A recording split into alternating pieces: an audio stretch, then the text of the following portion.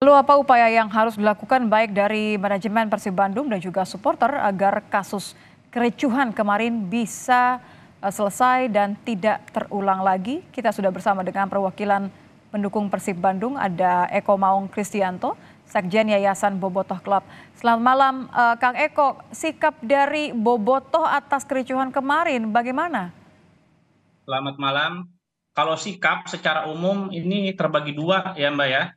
Yang pertama adalah Bobotoh yang menyalahkan total, saya katakan menyalahkan total ya, supporter yang melakukan aksi kemarin.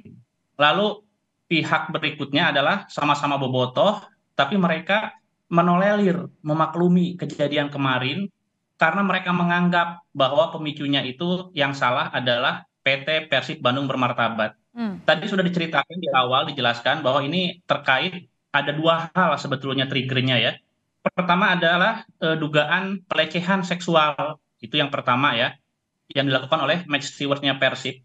Lalu yang kedua, pemicunya itu adalah intimidasi terhadap bobotoh yang dilakukan oleh pemain dan ofisial. Nah itu triggernya, akhirnya mungkin meledak kemarin gitu. Karena sesungguhnya problematika antara supporter dengan manajemen Persib ini bukan terjadi kemarin saja ya. Hmm. Di tahun-tahun sebelumnya kalau kita telusuri arsip lalu juga video-video yang masih bisa kita akses itu berkali-kali ada demonstrasi sebetulnya ya okay. ke kantor Persib yang dilakukan oleh masa bobotoh terkait pengelolaan tiket yang dirasa nggak benar segala macam gitu. Tapi mungkin Anda mau bilang bahwa ini adalah kemarahan yang sudah menumpuk begitu ya. Tapi kalau kita lihat dari dampaknya bagaimanapun juga kan terjadi ada kericuhan, ada pihak-pihak yang kemudian dirugikan dan uh, terluka. Di tengah adanya tuntutan kepada manajemen soal dugaan kekerasan dari steward ini toh tengah diusut. Kan apakah ada imbauan untuk menahan diri? Apakah kemudian merasa bahwa ini adalah uh, langkah yang tepat untuk kemudian membalas dengan membuat kericuhan juga dengan main hakim sendiri? Tentu saja tidak tepat ya. Ini cara yang salah Mbak. Maksudnya apa pun alasannya, cara-cara yang kemarin itu, itu sampai konteksnya itu kan itu udah pidana umum tuh ya. Hmm. Menganiaya steward yang sedang apa masih berjaga itu, itu pendekatannya bukan lagi apa hukum olahraga atau hukum komunitas, itu hukum negara bisa masuk itu ya. Apalagi sekarang kan bisa dibuktikan dengan berbagai rekaman CCTV ya. Jadi cara yang kemarin itu salah, apa pun alasannya itu salah.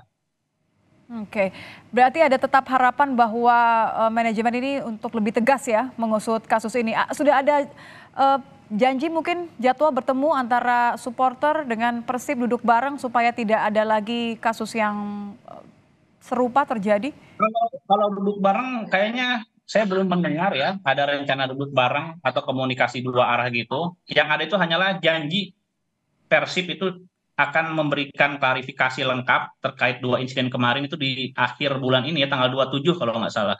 Hmm, hmm. Tapi sudah ada yang memahami belum ya, eh, Kang? Kalau kita lihat ini pen, sejauh mana para pendukung tuh tahu resikonya. Kalau ricuhnya di laga, usai laga pertandingan, ini kan akan merugikan klub juga, merugikan pendukung sendiri juga. Ya, belum belum belum semuanya memahami ya, Mbak. Maksudnya dengan sangat miris saya katakan bahwa mayoritas supporter sepak bola itu memang teredukasi dengan rendah gitu loh. Ya, mereka tuh nggak tahu kadang-kadang konsekuensi hukum dan lain sebagainya ya. Bahkan dampak untuk klub yang mereka bela pun mereka nggak tahu gitu. Nah, menariknya ini khusus untuk di Persib mungkin ya. Ini ada terjadi eh, paradigma ya Mbak ya, bahwa mereka itu yang mereka tanda kutip benci, yang mereka nggak suka itu adalah manajemennya Mbak.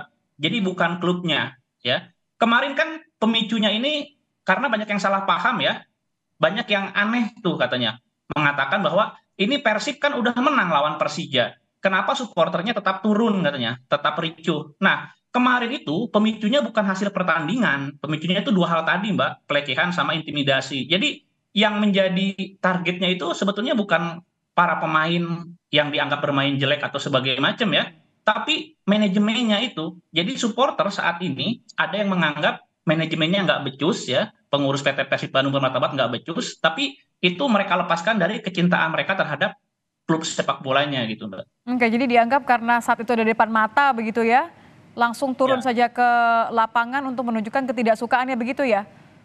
Iya, kan itu mereka mengincar ya, saya nggak perlu sebutkan, mereka tuh mengincar beberapa nama itu mbak. Jadi saya sempat ngobrol-ngobrol, mereka itu udah nanya katanya ke steward, cuma stewardnya kan ngomong nggak tahu. Nah itu langsung mereka jadikan target juga. Dan baru pertama kali ini steward menjadi target dari apa supporter Persib ya ketika mereka masuk ke lapang. Berarti memang ada pemicu yang berbeda dengan kejadian-kejadian sebelumnya. Karena okay. kejadian supporter Persib masuk ke lapang ini bukan sekali ini saja. Gitu. Di satu sisi ada tuntutan untuk um, lanjutan kasus dugaan pelecehan seksual ini, tapi ada juga dampaknya ada uh, nama para pendukung supporter yang kemudian tercoreng sehingga ada pula orang-orang yang menjadi terluka. Apa uh, harapan Anda sebagai pendukung agar kasus ini tidak terulang segera selesai? Saya pikir ya masing-masing pihak ya itu memerankan peranannya dengan baik gitu. Polisi kan udah ngomong ini bisa diusut segala macam, berarti kita ngomong itu hukum nasional ya. Saya saya yang saya lihat itu beberapa delik pidana itu terpenuhi. Ya silakan saja kalau punya bukti, penyelidikan, penyidikan, proses hukum gitu ya. Sementara untuk urusan pelecehan dan juga intimidasi itu harus clear bukan dengan penegak hukum ya, kecuali nanti pelecehannya itu terbukti ya, itu mungkin bisa diadukan gitu.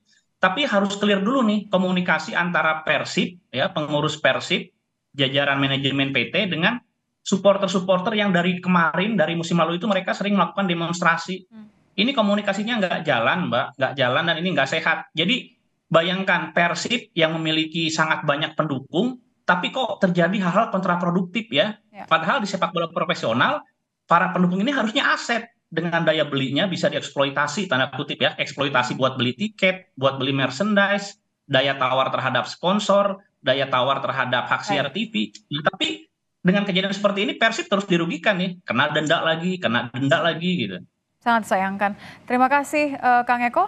Eko Maung Sekjen Yayasan Bobotoh Club. Selamat malam Kang. Oke terima kasih Mbak